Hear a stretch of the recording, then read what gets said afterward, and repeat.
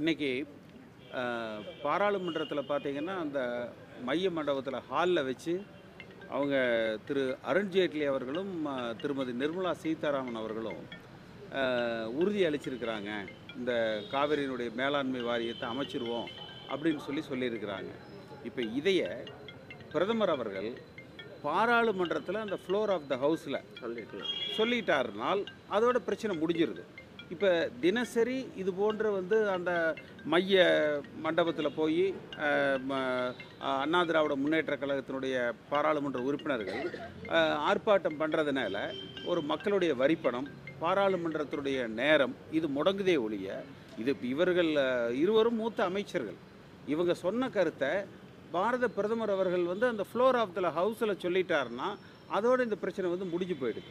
ரெண்டாவது இதில் ஏதாவது ஒரு உள்நோக்கம் இருக்குதான்னு சொல்லி தெரியல. ஏன்னா திருமதி நிர்மலா சீதாராமன் அவர்கள் வந்து நல்ல அமைச்சர். ஆனால் நீட்டில் வந்து அவங்க வந்து சென்னையில் பத்திரிகையாளர் சந்திப்பில் வந்து ஒரு உறுதி கொடுத்தாங்க. ஓராண்டுக்கு மட்டும் தமிழ்நாடு அரசாங்கம் விதிவிலக்கு கேட்டால் நாங்கள் அதை கொடுத்துருவோம்னு சொல்லி சொன்னாங்க.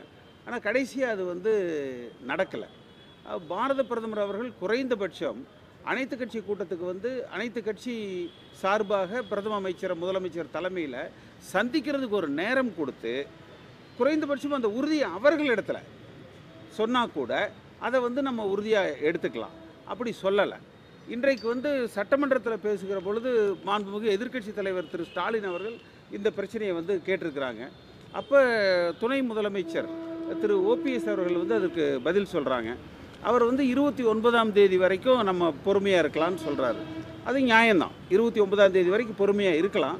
ஆனால் இருபத்தி ஒன்பதாம் தேதிக்கு உள்ள அல்லது முப்பதாம் தேதிக்குள்ள மத்திய அரசாங்கம் அந்த உச்சநீதிமன்ற உத்தரவை ஏற்று இந்த மேலாண்மை வாரியத்தை அமைக்காவிட்டால் இந்த இரண்டு விஷயங்களை அவர்கள் வந்து செய்வார்களா என்பதை உறுதிப்படுத்தணும். ஒன்று இந்த என்பதை உறுதிப்படுத்தணும். ஒன்று இந்த நோ கான்ஃபிடன்ஸ் மோஷனை வந்து ஆதரிக்கிறது. ரெண்டு இப்போ அம்மா இருக்கிற பொழுது அந்த மெரினா கடற்கரையில் வந்து ஒரு சாகும் வரை உண்ணாவிரதம்னு சொல்லி இருந்து மத்திய அரசாங்கம் அவர்களை தேடி வந்து அதற்குரிய உத்தரவுகளை வந்து வழங்கினாங்க. அதுபோல் முதலமைச்சர் அவர்களும் துணை முதலமைச்சர் அவர்களும் ஒரு உண்ணாவிரதத்தை ஒரு இன்டெஃபினட் ஹங்கர் ஃபாஸ்ட் அவங்க இருக்கிறாங்களா இருக்க போகிறாங்களா அப்படிங்கிறத வந்து தெளிவுபடுத்த வேண்டியது வந்து அவங்களுடைய கடமை. ஏன்னா இது வந்து கா காவிரி வந்து நமக்கு ஒரு ஜீவாதார உரிமை. இதில் வந்து நம்ம விட்டுட்டோம்னா இவ்வளவு ஆண்டு கால ஒரு சட்ட போராட்டத்திற்கு பிறகு அதை மீட்டெடுக்கிறதுங்கிறது ரொம்ப சிரமமாக போயிடும். இன்றைக்கி பார்த்தீங்கன்னா அந்த லிங்காயத்து கம்யூனிட்டி அவங்களையெல்லாம் கூட அந்த தனி ஒரு மதமாக மாற்றணும் அப்படின்னு சொல்லி இப்போ கர்நாடகாவில் அவங்களுடைய அந்த அமைச்சரவை வந்து தீர்மானம் போட்டு கொடுத்துருக்குறாங்க. ஸோ இந்த சூழ்நிலையில் வந்து இந்த மேலாண்மை வாரியம் அமைக்கிறது உண்மையிலேயே திரு ஜேட்லி அவர்களும் திரு நிர்மலா சீதாராமன் அவர்களும் சொன்னபடி நடக்குமா என்பது ஒரு சந்தேகத்துக்கு உரிய விஷயம். இது ஒன்று ஆர்டிஐயில் ஒரு தகவல் வந்து அந்த தேர்தல் ஆணையத்திலிருந்து வந்து கொடுத்தாங்க. அண்ணா திராவிட முன்னேற்ற கழகத்தினுடைய அடிப்படை விதிகளின்படி அடிப்படை உறுப்பினர்கள் தான் வாக்களித்து பொதுச் செயலாளர் தேர்ந்தெடுக்கப்படணும். அதுலேயே இன்னொரு விதி பொதுச் செயலாளர் தேர்தலை பொறுத்த வரைக்கும் தேர்வை பொறுத்த வரைக்கும் அந்த விதியை மாற்றுவதற்கு பொதுக்குழுவுக்கு அதிகாரம் இல்லை. அப்படிங்கிறது வந்து மிக தெளிவாக சொல்லப்பட்டிருக்குது. இவர்கள் வந்து அந்த விதியவே மாற்றி பொதுக்குழுவாலேயே வந்து இந்த ஒருங்கிணைப்பாளர் இணை ஒருங்கிணைப்பாளர் துணை ஒருங்கிணைப்பாளர்னு போட்டாங்க. அந்த மாறுதல்கள் இன்றைக்கு வரைக்கும் தேர்தல் ஆணையம் வந்து ஏற்றுக்கல. அப்போ அந்த ஆர்டிஐயில் வந்து அந்த பதில் வந்து கொடுத்துருக்குறாங்க. அப்படி இருக்கிற பட்சத்தில் அந்த நீக்குவதற்கோ அல்லது பொறுப்புகளை போடுவதற்கோ சேர்ப்பதற்கோ இவர்களுக்கு வந்து அதிகாரம் இல்லை. இப்போ நான் அந்த டாக்குமெண்ட் கொடுத்ததுக்கப்புறம் திரு ஜெயக்குமார் அவர்கள் வந்து நீக்கிறதுக்கு இவங்களுக்கு அதிகாரம் இல்லைன்னு சொல்லி நான் சொன்னேன். அந்த தேர்தல் ஆணையம் இதை அங்கீகரிக்கலைன்னு சொல்லி சொன்னேன்.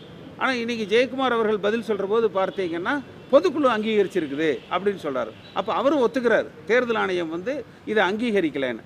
அப்போ இவ இவங்க பொதுக்குழுவில் என்ன வேணாலும் அந்த பைலாவை திருத்தம் பண்ணி மாடிஃபை பண்ணி தீர்மானம் போடலாம். ஆனால் அந்த தீர்மானத்துக்கு தேர்தல் ஆணையம் அங்கீகாரம் வந்து கொடுக்கணும். அது இன்றைக்கு வரைக்கும் தரலை.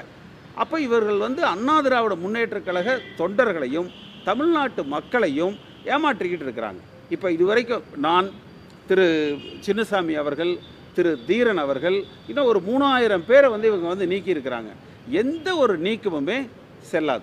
நாளைக்கு இதில் ஏதாவது ஒரு வழக்குகள் வருகிற பொழுது அந்த நியமனங்களும் கூட செல்லாத ஒரு நிலை தான் வந்து ஏற்படும். அதே மாதிரி திரு. ஓபிஎஸ் அவர்கள் அந்த தர்ம யுத்தம் அப்படின்னு ஆரம்பித்த பொழுது திருமதி சசிகலா அவர்களை இந்த இயக்கத்தின் அடிப்படை உறுப்பினர் பொறுப்பிலிருந்து நீக்கணும் அப்படிங்கிறது தான் அந்த தர்ம யுத்தத்தினுடைய கோஷம் கோரிக்கை எல்லாமே. அது என்ன ஆச்சு? அதற்கு வந்து அவர் வந்து பதில் சொல்லலை. இன்றைக்கு வரைக்கும் அவர் வந்து நீக்கப்படலை. இந்த விதிகள் திருத்தப்படலை இந்த தீர்மானங்கள் இன்னும் ஏற்கப்படலைன்னா இன்றைக்கும் அதிமுகவுக்கு திருமதி சசிகலா அவர்கள் தான் பொதுச் செயலாளரா? ஸோ இதற்கு வந்து இவர்கள் என்ன விளக்கம் சொல்கிறாங்க அப்படிங்கிறது வேணும். அதே மாதிரி திரு. ஜெயக்குமார் அடி ஒரு புரட்சித் தலைவர் அவர்களுடைய அறிவிப்பே கொடிப்பிடிக்கும் தொண்டன் முடிவெடுப்பான். இதுதான் அண்ணா திராவிட முன்னேற்ற கழகத்தினுடைய ஒரு அடிப்படை கோட்பாடு கொள்கை. அப்போ இவர்கள் வந்து ஒரு ஜனநாயக வழியில் இந்த இயக்கத்தை வழிநடத்தலைன்னா நிச்சயமாக எல்லா அடிப்படை உறுப்பினர்களும் சேர்ந்து இவர்கள் இருவரையும் கட்சியை விட்டு நீக்கக்கூடிய ஒரு நிலை மிக விரைவாக ஏற்படலாம். நிறைய இந்த ஒரு இரண்டு மூன்று